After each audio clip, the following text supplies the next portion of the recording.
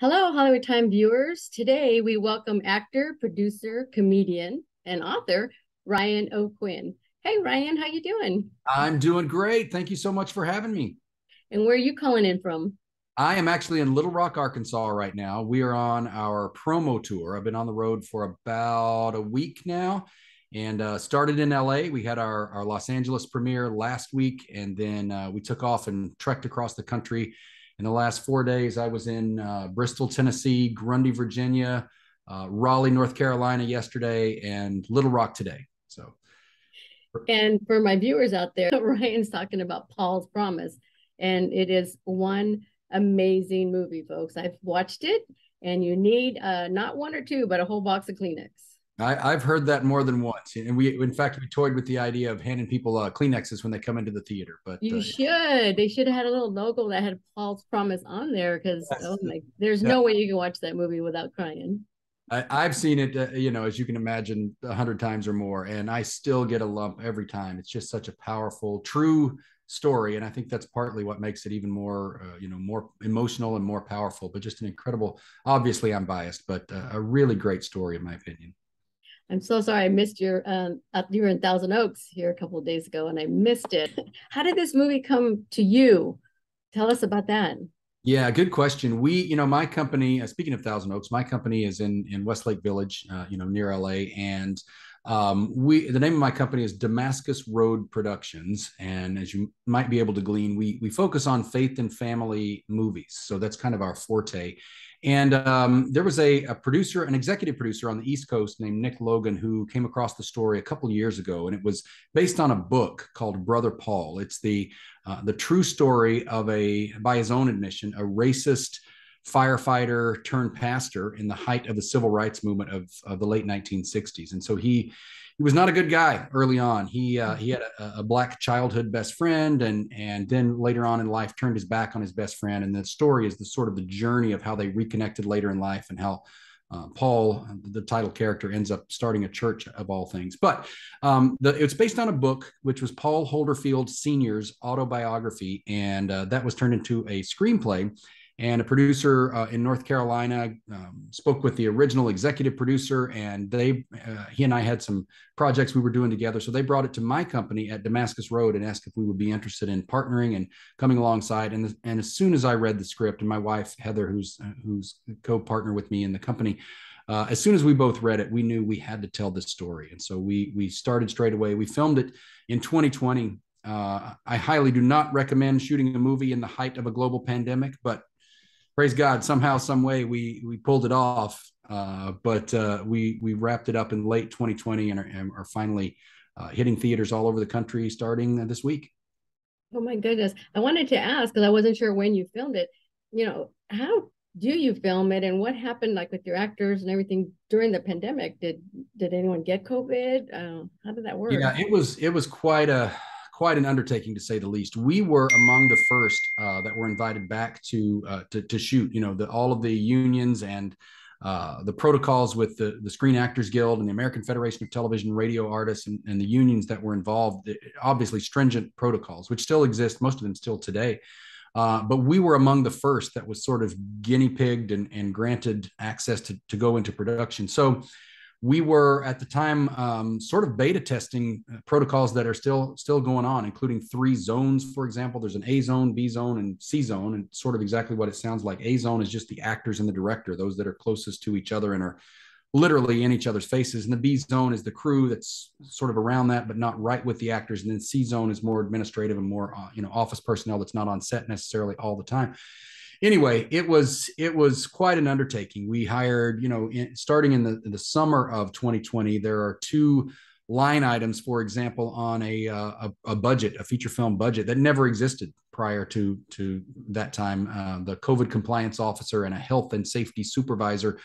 And again, their jobs are exactly what it sounds like, but it's just to try to maintain protocol, keep distancing, keep masks. You have to test every other day if you're in zone A. And, you know, we were in um, just give you a quick example of some of the headaches that we were dealing with, but um, we had to test every other day, and the test results had to come back within 72 hours but the turnaround time for the lab was a minimum of five days. So we were we couldn't figure out how best to to meet the union's uh, demands and protocols uh, with the the testing lab that they recommended, you know, suggested or, or demanded that we had to use. So it was something else. Um, you know, we, on the other side of it, we can exhale a little bit and laugh, but our cast was just so gracious, and and uh, we did at one point get shut down. In fact, about 12 weeks into principal photography, we shut down because of of COVID um, protocols. We had a couple of positive cases on set, and and the the unions shut us down for good reason. And we sort of regrouped and came back uh, about six weeks later. We came back and finished the movie actually in Los Angeles. So yeah. there's a, an interesting bit of irony in that we started the the movie, of course, the development and the pre-production phase started in my office in Westlake Village. And, uh, and actually finished the movie and actually shot uh, the, the last few scenes of the movie in the studio there in in the, the West Valley. So kind of some interesting, uh, you know, uh, full circle to that. And since it was uh, around a firefighter, did you bring in real firefighters to work with at all? How did yeah. that work? Yeah, absolutely. We were so we shot the movie in Truth or Consequences, New Mexico, uh, of all places. The movie takes place in Little Rock, Arkansas, but we didn't shoot in Little Rock, and for a barrage of reasons, we were in uh, Truth or Consequences. And with Hollywood magic, we make it look like Little Rock, but um, we engage the local fire department, the uh, Williamsburg Fire Department, as well as the Truth or Consequences Fire Department in New Mexico.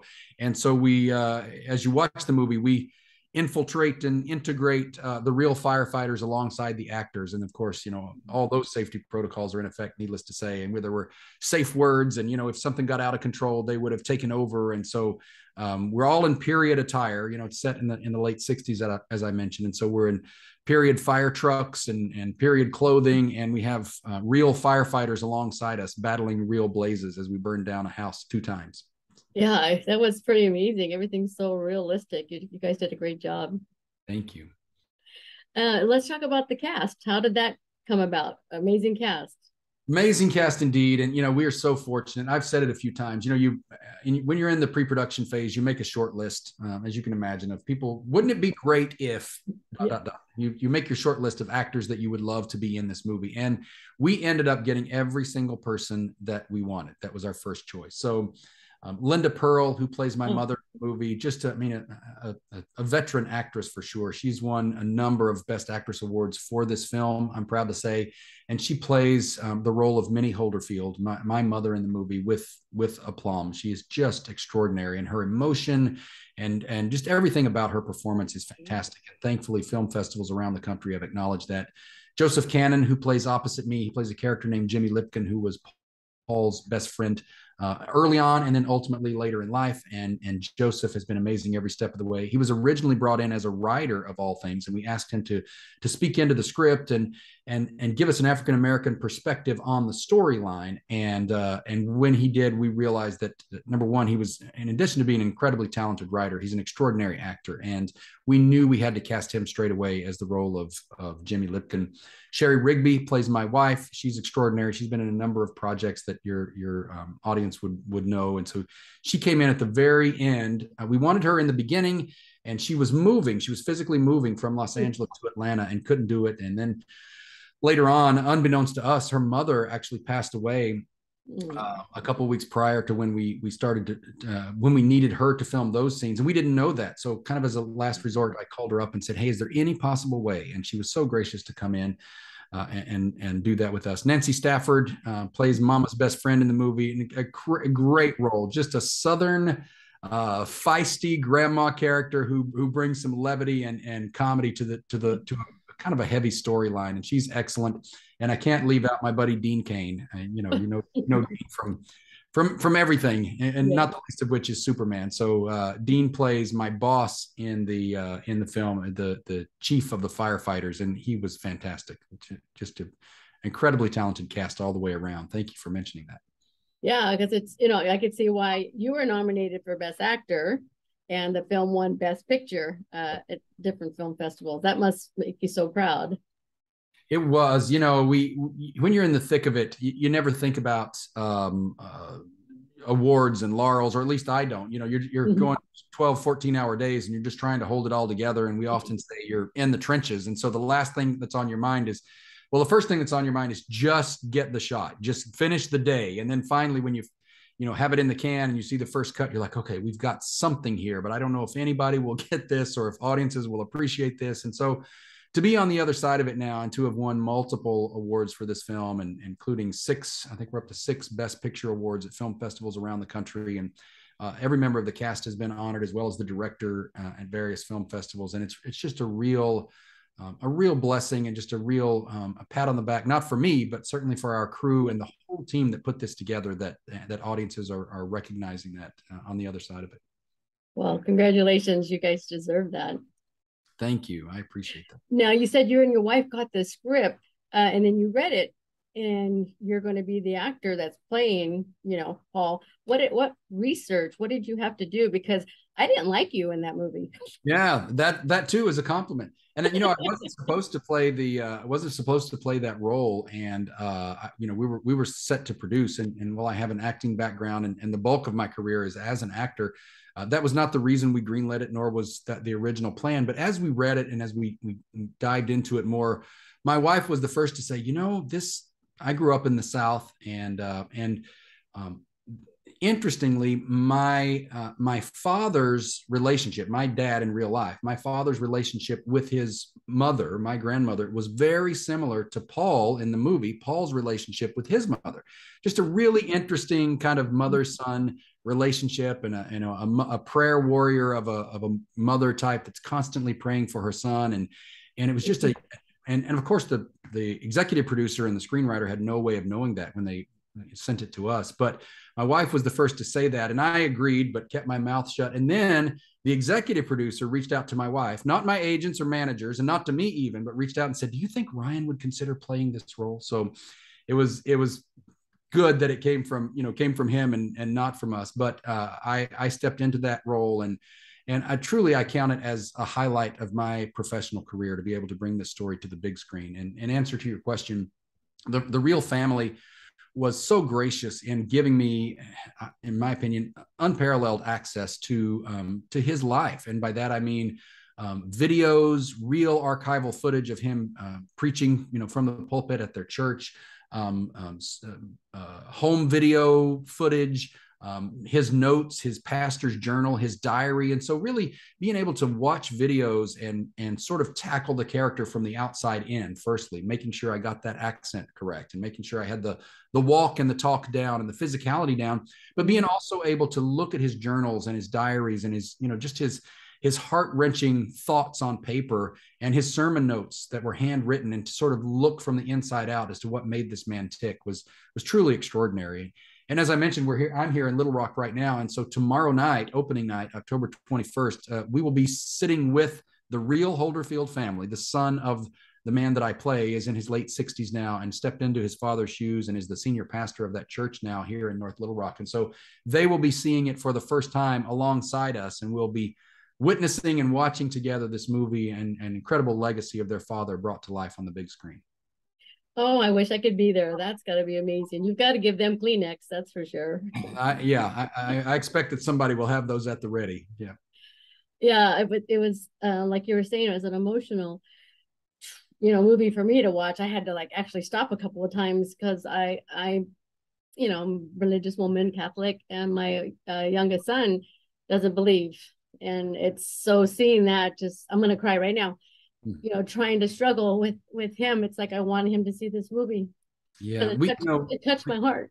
Thank you. Thank you for saying that. And we've heard that multiple times. We've screened it as i mentioned across the country this week just with select audiences. And and uh, we've gotten that exact same comment actually a number of times of of uh, parents mothers in particular who are praying for prodigal children and saying that this movie gave them hope. And you know last night i uh, we were at the church here. We had the opportunity to to speak at and and do a q&a at the church um, friendly chapel church here which is the church that paul holderfield started all those years ago. It was never the plan to start a church. It just sort of spawned out of a, a soup kitchen and a homeless shelter that he started here in the inner city of north little rock. And we had a chance to um, to meet with several people who several congregants who knew the real Paul Holderfield. He passed away in 1998, and many of those uh, folks in the church knew him and and walked with him and talked with him daily and attended services regularly. And um, and several of them came up to me and said that uh, uh, that they there was a couple of women in particular that regularly prayed with Paul's mother. You know, when he was when he Paul was in his 20s and was um, was not walking in faith, and and they were uh, they came alongside his mother and were just her support system and praying for her children. And uh, and sure enough, you know, several all those years later, uh, the the fervent prayers availeth much, as you know, as it says. And uh, and Paul made a complete 180 in his life and and started serving the Lord, and that made all the difference. Yeah, you know, going through uh, the pandemic, COVID, in this last couple of years, and the world besides the United States is in trouble, you know, and this is the kind of movies that we need for everyone to watch. You know, it just it, it grounds you. It just makes you think about your life.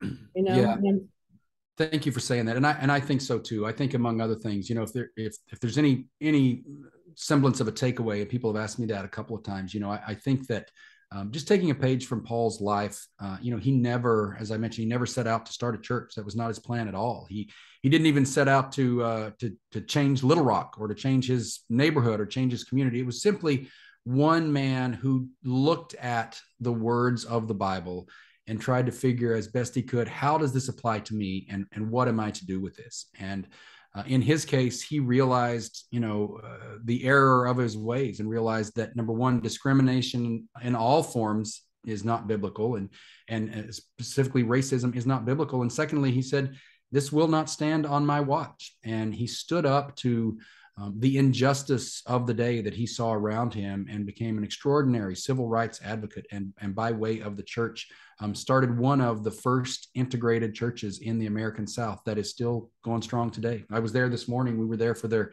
annual fish fry and their their give back community and our whole cast and crew came together and partnered with that church and literally rolled up our sleeves and and made uh, put together nearly 4,000 meals to take to um, the homeless of Little Rock and to various prison ministries and, and correctional facilities around around this area. Uh, so where is the film going to be shown as of tomorrow? Mm-hmm. tomorrow, the, the premiere is here in Little Rock. Uh, it was where we will be, but it's shown all over the country. The best way to uh, to find out where it'll be at a theater near you, near your audience, is to go to paulspromisemovie.com. All the information you need is right there, including the trailer right on the homepage. But there's a tab that says theaters, and you just click on that tab, paulspromisemovie.com slash theaters, and populate your zip code, and it'll tell you where it's playing near you. If it happens to not be playing near you um, for this opening weekend and next week, you can click on the demand tab, and it's exactly what it sounds like. You just fill out a quick thing, and then the plan is to uh, to bring the movie theater if, if, there's enough demand to people all over the country. But it's opening in hundreds of theaters around America starting tomorrow night, Friday the 21st. Oh, that is definitely a, a movie that we will help to promote uh, as much as we can because it's unfortunately I say there's too many Pauls out there back in the day, and we need people to see that so they can become the better Paul. You know? exactly. Yeah. I, you know, you, you think about the the story and and you know uh, arguably how long it's taken to, to get to the screen you know e- even 50 plus years ago when the, when the story actually happened and and i've said several times and uh, that arguably now more than ever we are still uh, in the in the zeitgeist of of examining where we are as a country and mm-hmm. where are we uh, particularly when it in, in, involves race relations and, and what are next steps within this country. So when we were filming, uh, you know, in the fall of 2020, it was shortly after George Floyd was in the headline, and, and it yeah. just you know amazing to see headlines and, and things happening across the country that were were not too far away from from what had happened in the you know years prior and uh and and to be able to shoot this movie in a formerly segregated town and then to be able to bring the premiere back to this same spot and to uh, to be arms akimbo with with some of the folks that were there when it happened is going to be truly special for us tomorrow night. Oh, and uh, like I said, if you live there, people go. you go to exactly. exactly. Definitely go out to the movies. I will be taking my best friend uh, with me tomorrow night to find where it is where we are, so I can yeah. see it on the big screen. Exactly. Pop on the, pop on that website and uh, and it'll it, pop in your zip code and it'll tell you exactly where to go see it. And from the website, you can buy tickets directly from the site. So just click oh, on. you the, can. Time. Yes, paulspromisemovie.com slash theaters, and you can purchase tickets right there and pick your seat. Oh my gosh. That's amazing. Well, there's a lot more to talk to you about, and I was hoping maybe we could have another interview so we could talk all about uh, Ryan. Today, we just wanted to get this out about the movie, but I'd really like to be able to catch up with you so we could talk to you more about the rest of your career that you've been doing and what's coming up. Do you have something else coming up soon? I do. We have another movie coming out. In fact, not too far, not too uh, uh, uh, long from now. Another feature called "Bringing Back Christmas" uh, that opens in theaters on December second, and it's a Christmas comedy. Uh, so you have to look for that. And then early next year, I start a movie in South Africa, and I'm really excited about that one as well. So you have to to stay tuned. But I'd love to come back anytime and and share with you about those. That would be great. Yeah, we'll come back in the the end of November and talk about your the, the Christmas movie because it'll be that time. Yes, it will. I'm I'm happy to do it. You have any closing words for us today? Uh, I do. I, you know, I, I, would just love to say that that I honestly believe that um, you know, with all the the programming that's out there and on all of the options that there are right now, uh, this is this is my personal opinion. But I think we need more family movies. I think we need more wholesome movies. Um, I said recently in, a, in, another interview, I want to be able to sit with my grandmother on one side of me and my son, you know, my 10 year old son on the other side of me and be able to watch something together as a family and not have to slink down in that seat and not have to cringe at what, I, what I'm seeing. And so with all the, the fare that's out there, I think this movie is excellent counter programming that can be enjoyed by audiences of all ages and have a real solid, meaningful takeaway and a real message of hope on the other side of it that I think will up, uplift the spirits, uh, the spirit of your audience and audiences all over the country. So uh, please go see it. Very well said. Thank you for taking the time. My pleasure. See you soon.